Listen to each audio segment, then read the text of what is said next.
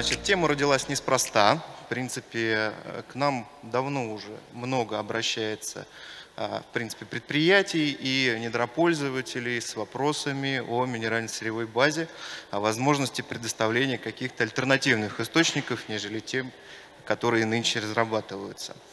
Вот. Особенно, особенно эта тема стала волновать после 2022 года, ну и во время 2022 года, вот, э, стало более-менее такой живой, актуальной. Поэтому давайте посмотрим, что же у нас происходит. А, в принципе, для э, того, чтобы вам напомнить, что это такое, и вообще обратиться к классификации, то вот в соответствии с ГОСТ 916975, сырье глинистое для керамической промышленности, а глины у нас разделяются по разным там, минералогическим, своим технологическим параметрам, но основные является показатель их огнеупорности. Огнеупорные, тугоплавкие, легкоплавкие. Вот, мы сегодня поговорим о двух огнеупорных тугоплавких, потому что это наиболее интересные глины, которые используются во многих технологических процессах. Вот. А легкоплавки относятся к общераспространенным, в принципе, хорошо представлены, эксплуатируются на территории Центрального федерального округа и России в целом. Поэтому как бы здесь э, не сказать, что есть какая-то в принципе проблема. Вот. Э, говоря еще о огнеупорных глинах, я буду говорить косвенно о каолинах, потому что по сути по своей та же огнеупорная глина, ну, только вынесенная у нас в отдельный государственный баланс. Ну а, соответственно, государственные балансы у нас так и распределены. Вот так же учет и ведется. Огнеупорные, тугоплавкие глины. Вот. Так, э, что же из них делают? Ну, вот если мы посмотрим, например, вокруг себя, да, у нас есть металлоконструкции, где-то внизу есть цемент, бетон, вот, где-то там каменная вата, а где-то гипсокартон, ну а на полу лежит керамогранит. Как бы вот один из э, актуальных продуктов э, из получаемых при, при применении огнеупорных тугоплавких глин. А, Значит, соответственно, следующее у нас что? Это кирпичные изделия, но это большинство. Большинство как бы потребляемого, а, под, под, уходит а, потребляемой глины на него. Вот, а, кислоты упорные, прочие виды керамики. И вот если вы посмотрите на диаграммку такую, она довольно простая, схематическая. Вот, там определенные облака нарисованы и подписано, что какое значит. То есть если мы ткнем пальцем, возьмем химсостав своих э, глин, ткнем пальцем вот внутрь этой диаграммы, то мы, соответственно, попадем в то, чего мы можем ожидать, ожидать от нашей глины. А, хочу отметить, что здесь важно содержание глинозема, то есть алюминий 2О3, вот модуль а, его по оси вертикальный представлен. По горизонтальной у нас содержание а, красящих окислов э, и щелочей, то есть железа, титана, Эм, давайте посмотрим, что же у нас творится с минерально-сырьевой базой. Значит, на сегодняшний день э, смотрим на минерально-сырьевую базу огнеупорных глин. Вот, она здесь представлена по э, Центральному федеральному округу и отдельно по России. Смотрим на процент ее освоения. То есть Центральный федеральный округ 13% освоено из всех месторождений, которые есть. В России 12%. Смотрим на тугоплавкие глины. Ну, ситуация чуть поинтереснее. Но, тем не менее, все равно цифры не такие значимые. То есть 33-36%. Калиновые глины, соответственно, на 23% освоены. А теперь посмотрим на динамику добычи. Да, там были определенные кризисные события, вот, э, пришедшие на 16 год, когда был спад потребления в целом керамики в добыче. Вот. Но тем не менее, видно, что она более-менее стабилизировалась и за последние годы вот, находится на а, потреблении а, всех видов керамических глин, находится где-то порядка 3,3 миллиона тонн ежегодно. А, также особо хочу отметить вот на ваше внимание, чтобы вы посмотрели на зеленые столбики, то есть как они, это калиновые глины, как они стали расти относительно доли всех остальных глин. А, и это произошло как раз вот, ну, с 19, 20, 21 года. Сейчас, сейчас еще выше. Так, ну посмотрим, как эта минерально-сырьевая база у нас распространяется в Центральном федеральном округе минеральных, э, тугоплавких огнеупорных глин. Вот, а, соответственно, зелененький – это у нас распределенный фонд, желтый – нераспределенный. Видно, что все это тяготеет, распределенный фонд тяготеет к южной части, к Черноземью. Вот, действительно, там находятся самые а, наиболее качественные а, месторождения а, сырьем, которое наиболее интересно недропользователям на сегодняшний день. Представительность, разброс у нее все равно неравномерный. А как находятся, располагаются предприятия, которые эту глину потребляют? Вот, ну, здесь мы видим тоже, в основном преимущественно это Московская область, вот, южные регионы, но более-менее равномерно. А там вот нанесена минерально-сырьевая база на заднем фоне. И видно, что не всегда производство оно коррелирует именно с самим месторождением, с самой минерально-сырьевой базой. То есть, ну, исторически так сложилось, там, или в силу того, что а, есть необходимые производственные центры, но тем не менее вот четкой корреляции нет, и понятно, что производители работают в том числе и на привозном а, сырье. Ну, теперь такой самый интересный вопрос. Сколько же денег было потрачено на э, тугоплавки огнеупорной глины? Как мы видим, да, э, всего несколько объектов за последние годы шло э, за счет средств недропользователей. Там ну, не такие уж большие деньги, не такие значимые объемы, тем не менее появилось два объекта. Вот. А что же делает государство? Ну, государство вот сейчас значит, ведет в Центральном федеральном округе Милославскую площадь, это Рязанская область. Сейчас уже работы завершаются, подготавливается оценка прогнозных ресурсов. В принципе, получается объект ну, более-менее интересный по качеству, по своим характеристикам. Так, ну а теперь я предлагаю поговорить о импорте. Значит, э, если мы посмотрим на эту табличку, вот за последние годы видим, что постоянно, ну, более-менее импорт возрастал. И специально отдельно желтым цветом я выделил именно Украину. Обратите внимание, что большая часть импорта приходилась именно на эту страну. Вот. А ввиду событий, которые произошли в 2022 году, весь этот импорт прекратился. И недропользователи столкнулись действительно с дефицитом сейчас а, глины качественной глины, которая ну, в силу там, и исторических особенностей, и своей уникальности, потому что не только Россия импортировала эту глину, а это там и Италия, Испания и прочие европейские страны. Да, это действительно уникальное керамическое сырье. Вот.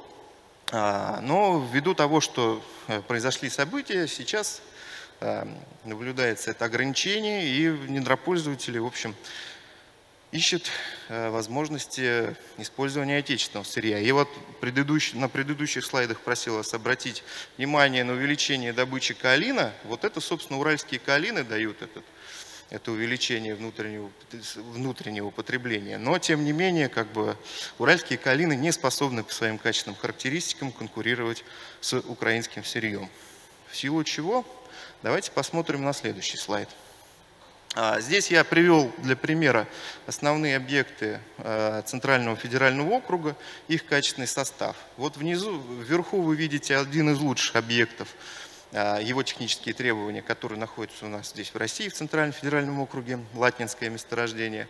А внизу Часов-Ярское месторождение, ну, считалось, в общем-то, лучшим месторождением глин в Советском Союзе, да и его сырье используют во всем мире. Вот, а, здесь нам стоит обратить на несколько аспектов. Первый аспект – это содержание глинозема. Видите, в основном вот те марки, которые есть, они в значительной степени содержат алюминий 2О3, что мы не можем найти в имеющейся у нас минерально-сырьевой базе. А, соответственно, красящие окислы – это железо, титан, прочее. Ну, значения, если мы посмотрим, наши месторождения, в большинстве из них довольно высокие. Здесь, ну, как мы видим, э, у э, качественных э, сортов эти значения довольно низкие. Вот. Ну а что, собственно, нам это дает? Да?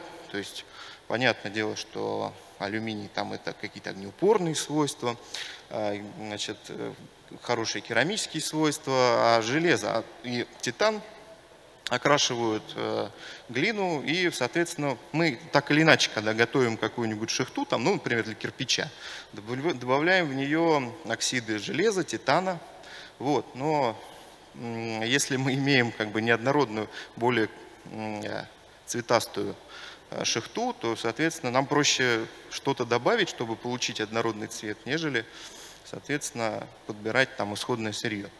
Вот, а, поэтому это тоже немаловажный фактор. Ну и плюс влияющий в целом на весь процесс. Так что же, ну, э, все предприятия, которые производят керамическую плитку, они используют именно какие-то привозные? Да нет, ну, многие базируются на каком-то месторождении, готовят шихту.